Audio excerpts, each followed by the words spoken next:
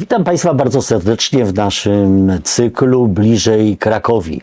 Tym razem rozmawiać będziemy z piłkarzem pasów, wychowankiem Krakowi, Pawłem Zegarkiem. Witam Państwa serdecznie. Ja Cię też e, witam, miło Cię widzieć. Paweł Zegarek, legendarny piłkarz Krakowi, 10 sezonów e, w barwach pasów, 300 meczów, okrągła liczba, 102 gole, taki facet da 102. E, Paweł, sporo czasu spędziłeś w Krakowi, to dla Ciebie była taka sinusoida, bo to była trzecia liga, druga liga, drugi e, poziom e, rozgrywek centralnych. E, Raz było lepiej, raz było gorzej. Byłeś zawsze wierny tej Krakowi. 10 lat to jest dużo, mimo że różne tu były zawirowania. Jak w ogóle trafiłeś do tej Krakowi? Do Krakowi trafiłem przez swojego tatę, który był kibicem Krakowi, mieszkał niedaleko tu na ulicy Fosza, e, jak był młodym, e, młodym chłopakiem. Trenował w Krakowi, jako, ale gdzieś tam się nie przebił do wyższych struktur e, drużynowych. No i e, gdzieś tam e, zawsze, zawsze te e, barwy pasiaste by, miał w głowie i przyprowadził mnie na pierwszy trening, na pierwszy mecz tutaj na, na, na stadion na Kałuży, bo który nas zaraził piłką nożną przede wszystkim, no i miłością do Krakowi. Czyli taki utarty scenariusz, że tu parę osób siedziało na Twoim miejscu i też się e, to tak w ich sytuacji odbywało. Na przykład e, Tomasz Rząsa, Twój kolega z drużyny, który też został zaprowadzony przez tatę. No, równie dobrze tata mógł Cię zaprowadzić na stadion Wisły Kraków. Grałbyś w Wiśle? Ja powiem tak, ja miałem taki e, mały epizod, że Wisła Kraków chciała mnie, bo braliśmy udział w rozgrywkach podwórkowych, takie były organizowane w ówczesnych czasach na, e, i na stadionie Wisły, na tym słynnym hasiołku tamtejszym. Czy to nie był ten turniej dzikich drużyn? Dzikich drużyn, tak, Tak, tak. I pamiętam. nazywaliśmy się drużyna Juventus Azory.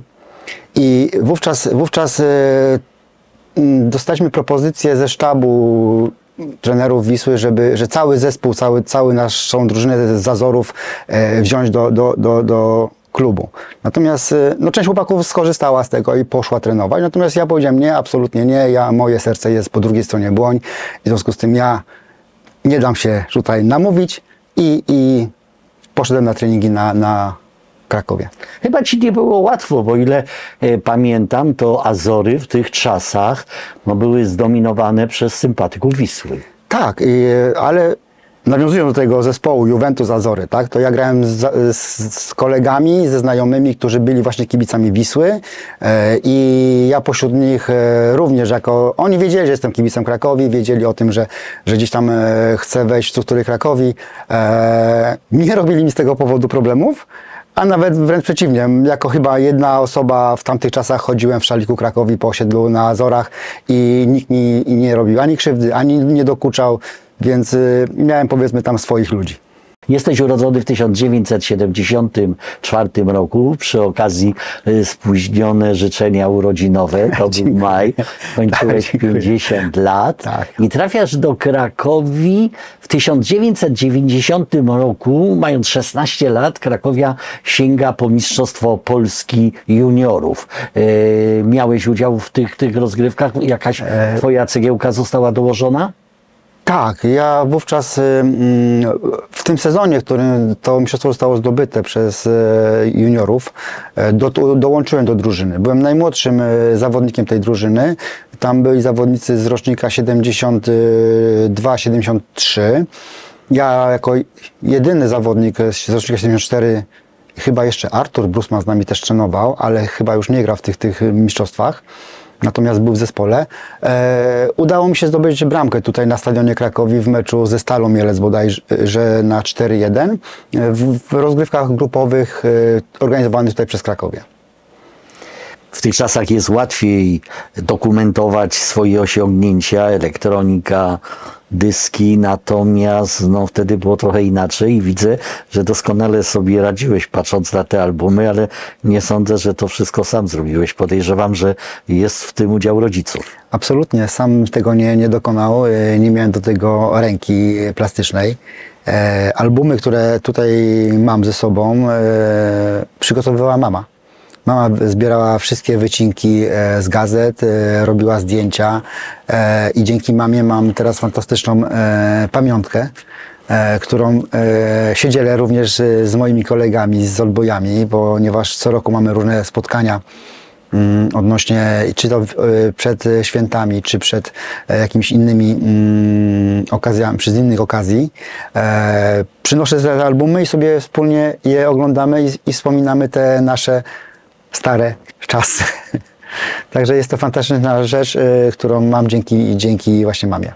Rok później Krakowia znów y, sięga po Mistrzostwo Polski Juniorów, rok 1991. Ty jesteś starszy o rok i ten Tak. udział twój w tym mistrzostwie jest już znaczący. Jak wspominasz? Wspominam to bardzo dobrze, ponieważ gdzieś tam e, w, na poziomie tym juniorskim udawało mi się strzelać dużo bramek, przede wszystkim to było dla mnie najważniejsze, ale też udało mi się zdobyć e, tą najważniejszą bramkę na Polonii Warszawa, gdzie mm, tutaj wygraliśmy mecz z Polonią e, 2-1. 2-1, a w Warszawie prze- przegrywaliśmy 1-0 i udało mi się strzelić bramkę na 1-1, która dała nam mistrzostwo. Jak z perspektywy 50-latka do dorosłego mężczyzny patrzysz na te juniorskie y, sukcesy? One muszą być podwaliną pod dalszą karierę, czy mogą, a nie muszą? E, mogą, ale nie muszą. Uważam, że, że mm, piłka na poziomie juniorskim to jest zupełnie inna, że powiem, mm, forma e, rywalizacji. E, nie powinno się patrzeć na, na generalnie na, na wynik, tylko na szkolenie. E, natomiast, natomiast jest to fajna frajda dla chłopaków, dla zawodników, którzy w tym biorą udział. E, fajna możliwość e, cieszenia się z zespołem, cieszenia się z sukcesu. Jeszcze w tym czasie, kiedy tej Krakowi, że tak powiem, nie było po drodze, sukces młodzieży, juniorów spowodował to, że nagle o Krakowi stało się głośno w całej Polsce. Tak, to było I ponad to- 30 lat. I to, i to e, na pewno było fajnym, fajnym e, faktem, bo mm, taka odskocznia od tej rzeczywistości, gdzie e, drużyna pierwsza na poziomie trzeciej ligi, my zdobywamy Mistrzostwo Polski i nagle o nas jest głośno.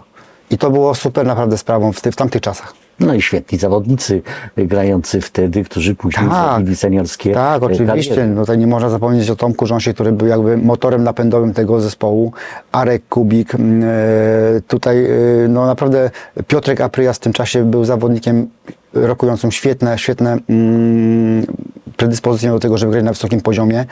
No, kilku zawodników no, fantastycznych e, piłkarzy, ale wiadomo, że nie zawsze, nie zawsze e, talent e, na poziomie juniorskim przekłada się na rozwój w drużynach seniorskich. No u Ciebie się przełożył, ale wróćmy do tego roku 1991, no to dla Ciebie szczególny. Sięgasz po Mistrzostwo Polski Juniorów z Krakowią, mając ogromny wkład, bramka w finale, w turnieju e, cztery gole półfinałowym. I e, w czerwcu 1991 następuje decyzja Polskiego Związku Piłki Nożnej, który postanowił e, powiększyć ligę. I otrzymujecie szansę gry w barażach i gracie z Radomiakiem. Ładny historyczny sukces Krakowi, awans.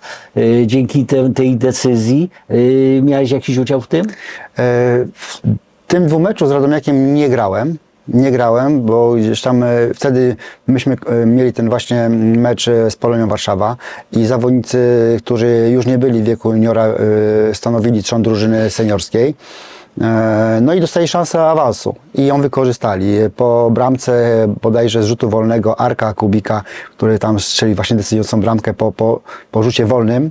Marek miał takie szczęście do takich bramek właśnie, że e, jak uderzył na bramkę, to albo rykoszet, albo gdzieś błąd bramkarza, ale to trzeba było po prostu trafić światło bramki i on, on miał takie szczęście w tym, w tym wykonywaniu tych stałych fragmentów gry. No wesoło nie było, bo w Krakowie był remis 1 do 1 i dopiero rewanż, gdzie Tak. bardzo ciężko było wygrany na wyjeździe 2-0, dał wam ten upragniony awans do drugiej ligi. Paweł, a więc y, ten 91 jest dla ciebie ok, tu mistrzostwo, tu otworzyła się szansa, Krakowia wykorzystała, y, grać będzie w drugiej lidze, ale ta druga połowa roku już y, była gorsza, choć jedna taka y, data, myślę, powinna ci była utkwić w pamięci. Y, 2 listopada 1991 i nie mam na myśli, że jest to Dzień Zadusznych. E, tak, to jest e, mój debiut w drużynie seniorskiej. E, akurat akurat mm, Pamiętam ten, ten okres tego względu, że Tak, ja 100%. wróciłem, wróciłem po, po kontuzji. Wróciłem, e, miałem, doznałem kontuzji, e, doznałem kontuzji bodajże we wrześniu.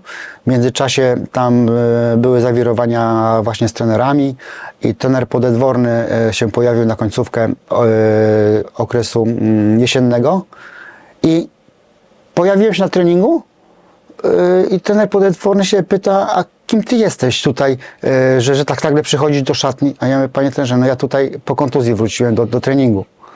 Yy, No i, i, i gdzieś tam potrenowałem tydzień, yy, dwa, no i on zabrał mnie na mecz właśnie do, do Rzeszowa. debiut, niestety porażka i ta porażka nie była pierwszą, to była seria y, porażek. Janusz Sputo prowadził zespół, dużo tych juniorów grało y, mistrzów Polski i to, co wcześniej powiedziałeś, to było brutalne y, zderzenie z rzeczywistością, że ci juniorzy na poziomie drugiej ligi, drugiego szczebla rozgrywek centralnych, no przegrywali mecz za meczem. No tak, bo... I było wotum nieufności zarządu wobec y, Janusza Sputy. Część piłkarzy się podpisała, ty nie. Znaczy ja powiem tak, nawiążę do tego, co, co, co yy, tu wszystko zostało powiedziane, że przeskok z piłki juniorskiej, a szczególnie wtedy na poziom e, drugi w Polsce, na poziom seniorski, był bardzo trudny. I mm, wszyscy myśleliśmy, że zdobywając Mistrzostwo Polski jesteśmy w stanie e, zawojować świat, tą drugą, naszą drugą ligę. E, natomiast, no, tak jak tutaj zostało powiedziane, brutalna rzeczywistość. Zderzyliśmy się ze ścianą, e, na, przyszły porażki, przyszły, mm, przyszły takie sytuacje, gdzie e, no, były kłótnie między nami, kłótnie gdzieś w szatni. Wiadomo, że jak się przegrywa, to, to gdzieś, te, te, gdzieś te niesnaski są. E, natomiast natomiast no wiadomo, że drużyna młoda chciała mieć swojego trenera, z którym się- wychowywała od dziecka. Trener Sputo, trener, mm, który traktował swoich zawodników jak synów i, i synowie traktowali, e, zawodnicy traktowali, tra- traktowali trenera Sputo jak ojca.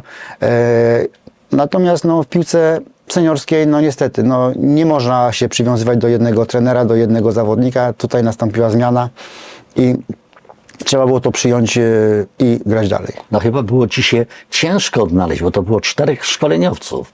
Sputo, Podedworny, Andrzej Bar, no i Lucjan Fradczak. Tak, yy, tak, cztery szkole, sposoby różne sposoby prowadzenia drużyny, różne charaktery przede wszystkim, bo każdy z tych trenerów miał zupełnie inny charakter. E, natomiast ja, ja bardzo miło wspominam e, pracę z trenerem Barem. E, pomimo tego, że był bardzo wymagający, ale gdzieś tam, gdzieś tam e,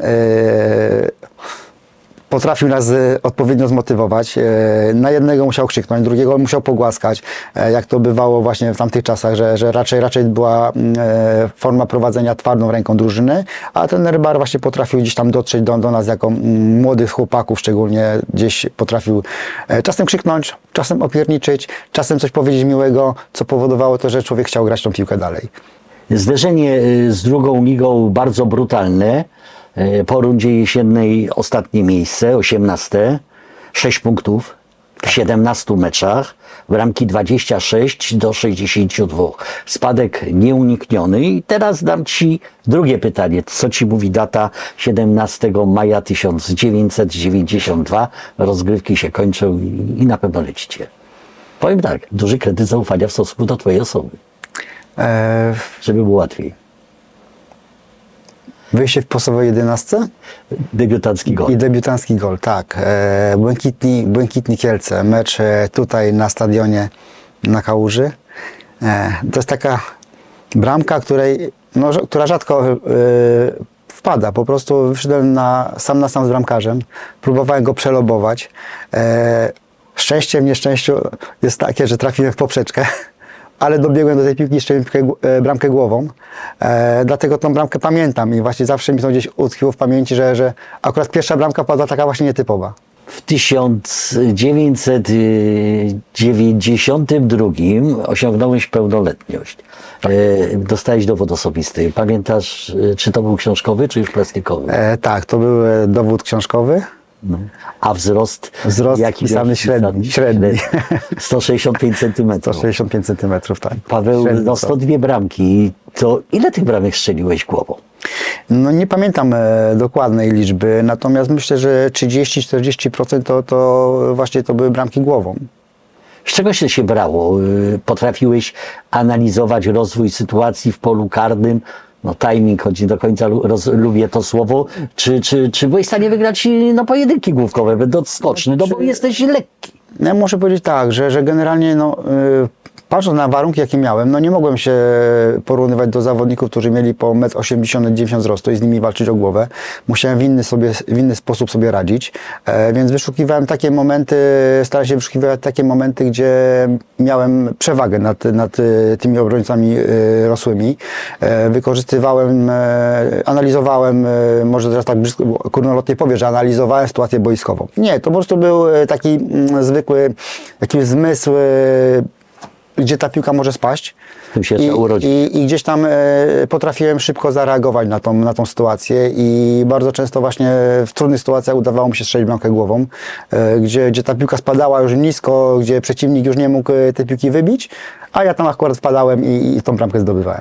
Wiesz jak tak słucham i patrzę na ciebie, a przecież przypominam sobie doskonale występy na boisku, to przypomina mi się taki cytat z trylogii odnośnie pułkownika e, Michała Wodyjowskiego. Powiedziano, no jak się ciebie nie będą bali, to się z ciebie będą śmiali.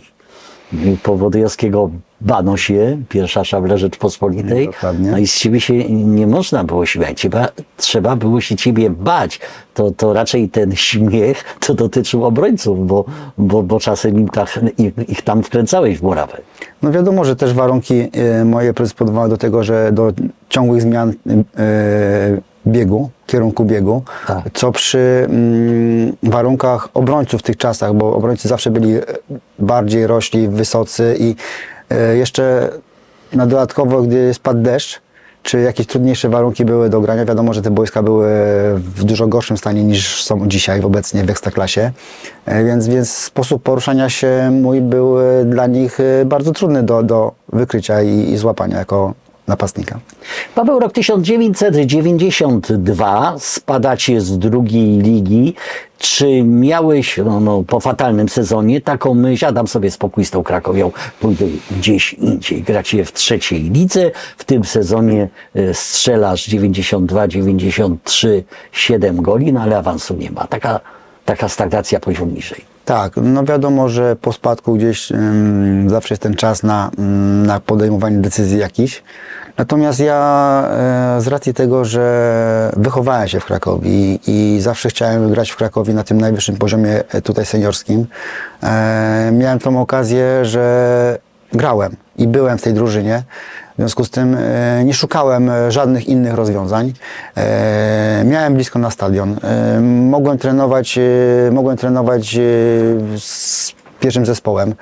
To dla mnie było wystarczającym, wystarczającą motywacją do tego, żeby, żeby w Krakowie zostać i, i się rozwijać. Mm, Natomiast, natomiast wiadomo, że, że każdy po spadku chciał jak najszybciej awansować na ten poziom centralny. No ale są różne, były różne czasy w tym czasie i, i ciężko było też e, zorganizować na tyle mocny skład, żeby, żeby po prostu od razu walczyć o awans. Sezon 93-94, y, też y, trzecia liga, piąte miejsce, nie ma awansu, takie przedłużenie tej stagnacji. No i przychodzi sezon 1994-95 i, i to już jest dużo lepiej dla Krakowi, no bo w końcu awans. Tak, po trzech latach e, gry na trzecim poziomie rozrywkowym udaje się nam awansować. Mm, co prawda skład nie był bardzo rozbudowany ilościowy, ale był jakościowy. jakościowy. Było tam kilku e, zawodników młodych, kilku zawodników doświadczonych. Natomiast e, ten Adamus stworzył e, grupę ludzi, którym zależało na tym, żeby Krakowia awansowała do wyższej ligi. Historyczny mecz, 7 tysięcy widzów w Bronowicach na stadionie Wawelu. Dawna sympatycy piłki nożnej w naszym mieście czekali na mecz Wawelu z Krakowią. Od dawna było bowiem wiadome, że między tymi dwoma klubami rozstrzygnie się sprawa awansu do drugiej ligi. Ogromne zainteresowanie meczem. Dawno nie widziałem takich tłumów na stadionie Wawelu. Remisujecie tam 1-1, Tak, bramkę bramka Edwarda Kowalika. No tak. i to był, kapitana. to, był, to był znaczący krok y, ku temu, by awansować. Zawiązanie kontrataku. Łukasz Hermaniuk z centra pokazuje Edward Kowalik, że jest na wolnej pozycji. Strzał Kowalika i gol. 72 minuta meczu i 1 do 1. Teraz powody do radości mają piłkarze Krakowi. Cieszy się Łukasz Hermaniuk. Remisując na, na, na wyjeździe z Wawelem, e, utrzymaliśmy przewagę. Grałeś tam wtedy. Tak, grałem. Zegarek wprowadzony w drugiej części meczu. Marek Węgiel do zegarka. Zegarek w pojedynku z dwoma zawodnikami Wawelu. Krakowia. Węgiel. Ambitnie walczy o górne piłki najmniejszy w drużynie pasów zegarek. Utrzymaliśmy przewagę nad, nad rywalem bezpośrednim i to nam pozwoliło awansować do Ligi Wyższej. Bardzo trudny mecz, bardzo trudny mecz, e, wiadomo dużo kibiców, e, presja, presja wyniku, e, natomiast no, takie mecze się fajnie gra. Fajnie się gra, bo mm, człowiek wie, że ma za sobą 12 zawodnika na trybunach. Paweł, ale oczywiście wynik sportowy musi iść w parze z organizacją klubu. I ten 95 rok, awans, to myślę jest w dużej mierze zasługą również grupy osób wspierających, które zaczęły te osoby pomagać Krakowi. Było wam łatwiej finansowo i tak dalej. I te no już takie troszkę siermiężne, totalnie siermiężne czasy z lat minionych, no, no stały się przeszłością. No tak, akurat y, w momencie, kiedy y, awansowaliśmy, to y, można powiedzieć, że może nie, nie było tak, że mieliśmy wszystko zapewnione, ale mieliśmy podstawowe sprawy, które, które są potrzebne w drużynie, w zespole, były zapewnione właśnie przez tą grupę osób wspierających. I to mm, spowodowało to, że mogliśmy swobodnie, spokojnie myśleć o, o treningu, o przygotowaniu się do, do, do, do, do meczu, a nie musieliśmy myśleć o tym, co, co zrobić, żeby na drugi dzień móc przyjść na trening. było dla Was przeżyciem to, że w końcu można było e, zagrać z Wisłą e, mecz derbowy o ligowe punkty. Wiesz o czym myślę? 24 tak, września 1990. E, tak, na pewno, na pewno dla nas e, jako zawodników e, Krakowi e, było to ważne wydarzenie, bo zawsze, zawsze, no w tych czasach Wisła była z drużyną e, w Krakowie grającą na najwyższym poziomie. E, Myśmy zawsze grali troszkę niżej i akurat e, oni spadli, myśmy weszli, więc była okazja się z nimi spotkać, zmierzyć o punkty ligowe.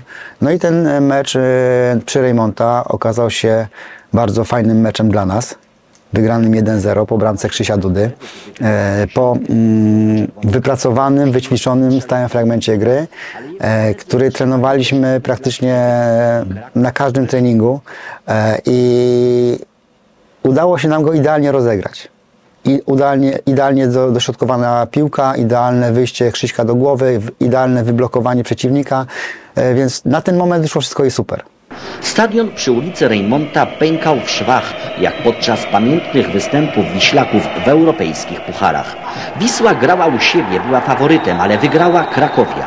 Fantastyczna główka Krzysztofa Dudy przesądziła o losach spotkania. 20-tysięczna publiczność budzi szacunek. A przecież nie można wykluczyć derbów w Ekstraklasie, ale przestańmy marzyć. Na razie jedno jest pewne. Do maja. Krakowia Pany. Pamiętasz swój udział w tym spotkaniu? E, Pojawiłem się bodajże w 60 którejś minucie na boisku. 57 za Martina tak, Hrabkowicza. Tak, koło 60 minuty. Czyli mimo defensywnej taktyki no wchodzi napastnik.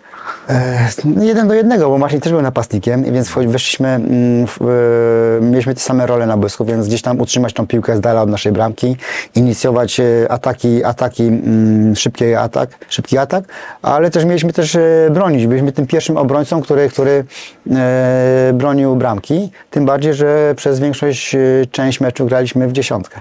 Nie żal tego sezonu, bo tu tak, zwycięsko z Wisłą, no dla sympatyków Krakowi, dla Was to masz szczególne znaczenie. Nie awansujecie, bo tak, w rewanżu na e, stadionie Krakowi przegrywacie Dwa- 0 do tak. 2. Per saldo pokonujecie Wisłę i Polonię Warszawa, które awansują, a Krakowia awansu e, nie uzyskała. E, Co, to był sufit, którego nie dało się przebić? Znaczy, ja wiem, czy to. mm, Może też ze spraw organizacyjnych można by się tak do tego doczepić, że może nie byliśmy wtedy jeszcze na tyle mocno organizacyjnie i sportowo przygotowani, żeby awansować. Na pewno, na pewno każdy z zawodników dawał z siebie maksa, żeby, żeby ten cel osiągnąć. Natomiast no, może wygraliśmy z tymi topowymi drużynami, ale awanse robi się z, wygrywając wszystkie mecze, które się powinno wygrać.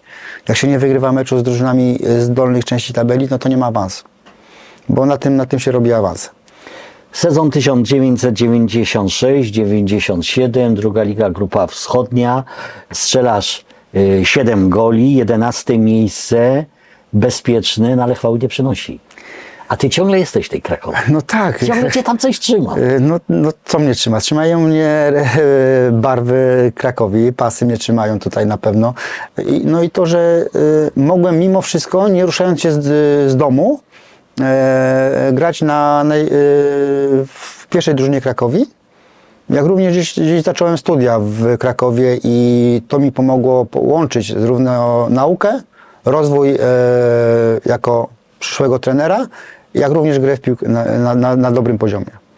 Sezon 96-97, tośmy powiedzieli, nic wielkiego, 11 miejsce, Krakowia zostaje, ale rok później jest jeszcze gorzej, Tak. bo zajmujecie tak zwane pierwsze spadkowe miejsce, no i Krakowia opuszcza e. No to znowu tak jak obuchem w łeb.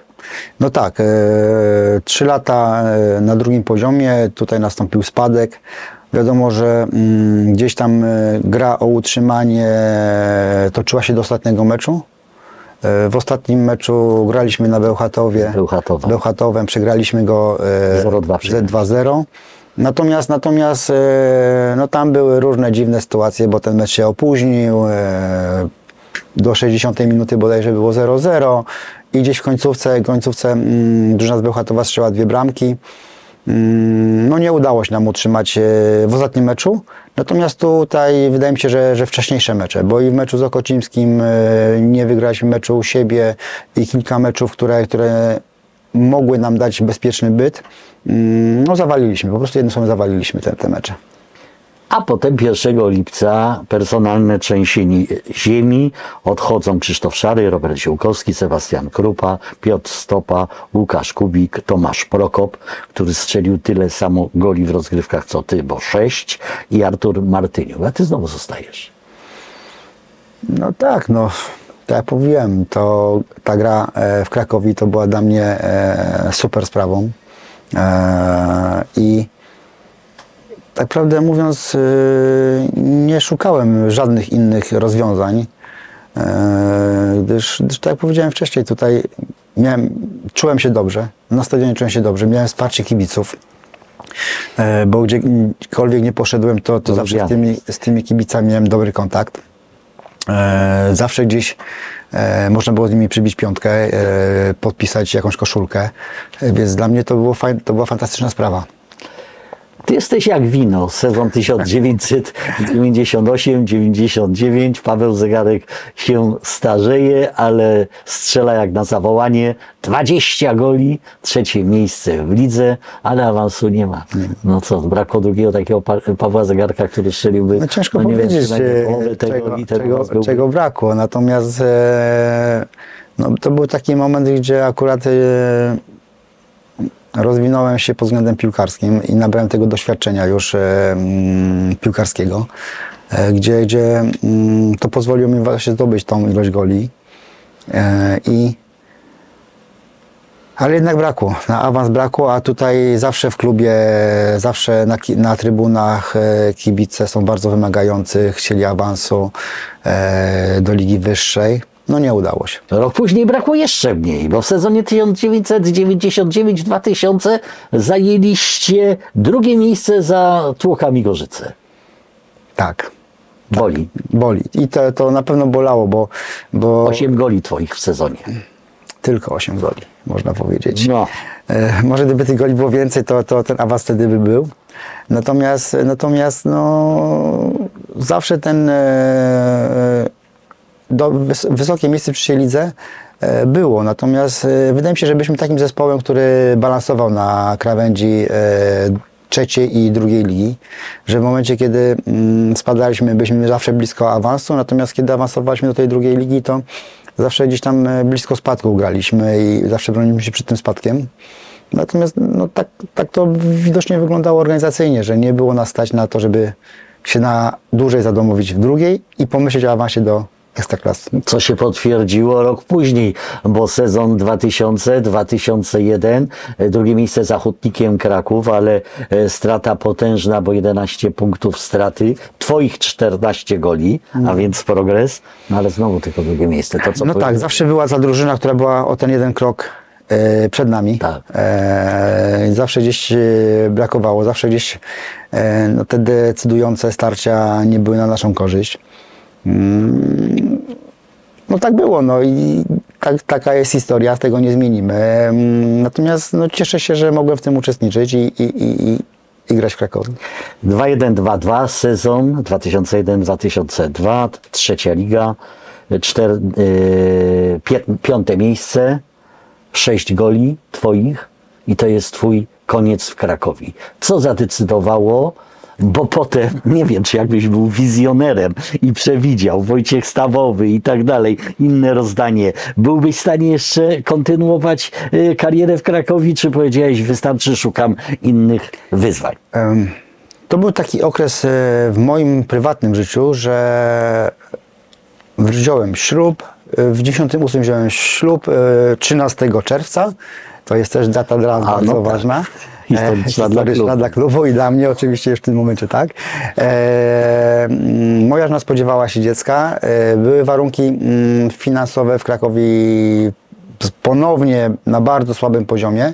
W związku z tym gdzieś e, otrzymałem propozycję zmiany klubu, na którą się zdecydowałem. E, I czy żałuję? Nie, nie żałuję, ponieważ e, taką decyzję wtedy podjąłem. Wiadomo, że życie składa się z decyzji. Jedne są lepsze, drugie są gorsze. Ja podjąłem taką decyzję wtedy o, o zmianie klubu i o przeniesieniu się do, do Pogoni Staszów e, w kolejnym roku do Stali Stalowa Wola, gdzie poznałem bardzo dużo fantastycznych ludzi e, i naprawdę nie, nie, nie żałuję tego. Chociaż gdybym wiedział, że może, co się może wydarzyć pół roku po moim odejściu, że, że pojawi się e, profesor Filipia, że pojawi się e, Paweł Misior, który to wszystko zorganizuje e, i, i że to wszystko się rozwinie, to prawdopodobnie bym się nie zdecydował na odejście, bo miałbym tą swoją Krakowię, która byłaby e, coraz silniejsza. Natomiast na tamten moment e, tak nie było i podjąłem inną decyzję. Sporo tych klubów było. Który najmilej wspominasz? Tego co widzę, to sporo grałeś w Górniku Wiliczka. Tak, e, w Górniku, w Górniku e, spotkałem e, swoich kolegów z Krakowi. Także tam był bardzo fajny klimat, jeżeli chodzi o mm, atmosferę w drużynie. Spędziłem tam 3, 3,5 roku. Także to był klub, e, który bardzo miło wspominam. Bardzo miło wspominam Stalową Wolę, gdzie spędziłem tylko rok na poziomie e, drugiej ligi. E, Fantastyczni ludzie w tym czasie. Mieciu Orzuk, Tomek Szarowski, no, Sławek Adamus, to Tomek Wietecha. To są ludzie, którzy, z którymi mm, gdzieś tam utrzymujemy dalej kontakt. Miałem możliwość ich poznać. Gdybym został w Krakowie, bym ich nie znał. Zostałeś przy piłce po karierze zawodniczej, kariera trenerska, jesteś absolwentem Krakowskiej Akademii Wychowania Fizycznego, masz kurs y, trenerski UEFA. UEFA. A. No i do tej Krakowi też y, wróciłeś w roli szkoleniowca U19. Tak, e, wróciłem do, Sezon 2-14-2-15. Tak, natomiast wróciłem troszkę, troszkę, troszkę wcześniej do Krakowi, z, y, też dzięki Tomkowi Rząsie, bo wtedy był Tomek Rząsa e, dyrektorem sportowym. E, Ja wówczas pracowałem w szkole mistrzostwa sportowego z młodzieżą. E, No i zaproponował mi, żeby pracować dalej z młodzieżą, ale już w Krakowie. Oczywiście się zgodziłem, no bo taka gdzieś tam moja koncepcja była, żeby w końcu do Krakowi trafić, też jako trener. Mm, W pierwszym roku pracy, grając w U19 w Małopolskiej Lidze ju- Juniora, mm, nie osiągnęliśmy zbytniego sukcesu. Natomiast w kolejnych latach już tam były reorganizacje e, struktur młodzieżowych, powstawała Centralna Liga Juniora e, i wymagało to awansów, awansów e, zespołów do, do ty, tych rozgrywek. No i udało się nam awansować najpierw do centralnej, do ligi makroregionalnej, potem do, do, do ligi, centralnej ligi juniora z grupą młodzieżową. No i do tej pory Krakowia na tym poziomie centralnej ligi gra. To doświadczenie piłkarskie, no to, to, to jest oczywiste. Yy, Skutko, yy, procentowało tym, że byłeś w stanie jeszcze przy twojej yy, sylwetce pokazać im na boisku, jak należy grać, ale na pewno też to wykształcenie tutaj nie było bez znaczenia, bo ciągle jesteś trenerem w tym momencie, o ile dobrze kojarzę, to w Pcimiance, tak? Tak, e, cały czas e, pracuję jako trener, natomiast e, z grupami młodzieżowymi, młodzieżowymi pracowałem do 2015 roku. W 2015 roku podziękowano mi w Krakowi za pracę i wówczas podjąłem decyzję, że od tego momentu zaczynam pracować z drużynami seniorskimi i na poziomie mm, niższym, tutaj na poziomie Małopolski. E, No i obecnie pracuję, pracuję, jak to się mówi, w pierwszej lidze Małopolskiej, czyli czwartej lidze naszej tutaj e, okręgowej. E, pracuję z drużyną w Pcimiu. Budujemy nowy zespół, fajne struktury tam chcemy stworzyć. Tam jest fajna akademia piłkarska młodzieży. Mam nadzieję, że ten klub będzie się cały czas rozwijał. Jak z perspektywy czasu patrzysz na to, co wydarzyło się w Krakowie? Jak byś to ocenił lata 90. i to, co jest teraz? Czy ci, którzy teraz grają, powinni szanować, uszanować, doceniać to, co oni mają w porównaniu z tym, co wyście mieli inaczej? Czego wyście nie mieli? No, porównując obecną sytuację Krakowi, no to yy, i porównując yy, czasy, w których my graliśmy, to jest zupełnie nieba ziemia. Ym, zawodnicy teraz mają wszystko. Mają, przede wszystkim mają fantastyczny obiekt yy, w Rącznej, gdzie mogą yy, się przygotowywać na kilku boiskach. Mają fantastyczne gabinety odnowy, gdzie mogą się regenerować. Mają też e, stołówkę, gdzie mogą zjeść śniadanie czy obiad e, po treningu. My o tym mogliśmy tylko pomarzyć. Mieliśmy e, jedno boisko tutaj na Kałuży. Mieliśmy boiska boczne na przy Alei 3 Maja, gdzie trzeba było dojechać tramwajem albo dobiec. Jeżeli chodzi o odnowę, mieliśmy gabinety odnowy, ale tam były zwykłe wanny z zimną lub ciepłą wodą. W związku z tym, to co teraz mają zawodnicy Krakowi, to naprawdę jest niewyobrażalna rzecz dla, dla, dla tych zawodników, szczególnie dla młodych zawodników, którzy już wchodzą e, w obiekt treningowy e, w Rącznej i mają takie same warunki do trenowania jak seniorzy. Kwestia sprzętu. Kwestia sprzętu, tak. Myśmy trenowali w swoich rzeczach. Jeżeli ktoś dostał e, koszulkę z klubu, to ją szanował. E, Po treningu prał od razu, żeby mieć na drugi dzień tą samą koszulkę, no bo nie było innych, innych e, rzeczy. Mieliśmy co prawda panią Krysię, która tutaj dbała o sprzęt. No ale jak miały się, go- i ty- był tylko jeden sprzęt. sprzęt. Jak się zniszczył, to nie było możliwości, żeby pójść i z magazynu dostać e, kolejny. Dlatego my też wspólnie z chłopakami dbaliśmy o ten sprzęt, żeby go mieć e, dla siebie. Wiadomo, że Byliście zahartowani, byliście byliśmy zahartowani, mieliśmy, mieliśmy trudne warunki do, do, do pracy, jak to się mówi, w cudzysłowie pracy, bo, bo większość z nas, e, tych, którzy byli starsi, musieli podejmować prace dodatkowe. E, ja jako młody zawodnik gdzieś tam e, wystarczyło mi to, co miałem, e, czy to było płacone z opóźnieniem, czy nie, e, wystarczało mi. E, rodzice mi też pomagali w tym, żeby, żeby właśnie tak było. E, natomiast, natomiast, no... Wiadomo, są różne sytuacje. Czasem e, drużyna podejmuje decyzję o strajku, czy o nie wyjściu na trening. Natomiast to zawsze się gdzieś później odbija, odbija rykoszetem. Paweł, przypuszczam, że materialnie to, to lata świetlne. Dobrze? To już nawet nie chcę wspominać. To już o tym chcę wspominać. Wiadomo, że wymogi e, ekstraklasy i zatrudniania zawodników to mają e, wysokie, wysoki próg. Natomiast no, są piłkarzami, wiedzą e, po co trenują, po co wychodzą na boisku, wiedzą za co, więc ja sobie nie wyobrażam, żeby e, zawodnik na, na poziomie Ekstraklasy czy, czy Krakowi, czy jakiegoś innego klubu w tym czasie nie dawał e, z siebie maksa, e, maksymalnie przygotowując się do zawodów, do treningu e, w czasie wolnym. Mm, Nie wiem, nie wyobrażam sobie, żeby taki zawodnik e, mógł iść, e, nie wiem, na, nad wodę, opalać się, na drugi dzień ma, mając trening i do niego być nieprzygotowanym, to, to nie te czasy. Któremu, po jednym nazwisku, z trenerów i piłkarzy chciałbyś podziękować za to, że cię ukształtowali no, w karierze piłkarskiej i trenerskiej? Mm, Nie chciałbym pominąć żadnego z trenerów, ponieważ każdy trener e, wpłynął na mój rozwój. E, czy to pod względem mentalnym, czy pod względem e, piłkarskim, czy pod względem charakteru. E, byli trenerzy, którzy do nas krzyczeli, byli trenerzy, którzy nam tłumaczyli. Natomiast z trenerem, z którym najdłużej pracowałem w mojej przygodzie z piłką, to był trener Adamus. No, różnie, róż, różnie z nim bywało. Raz było lepiej, raz gorzej. Mój dobry że, kolega. Że trener Adamus jest bardzo charyzmatyczną osobą. E, potrafił i krzyknąć, i zażartować. E, natomiast miał swój charakter i potrafił, potrafił dobrać ludzi do, do, do zespołu. A piłkarz, który cię jakoś na przykład ukształtował, który był twoim wzorem?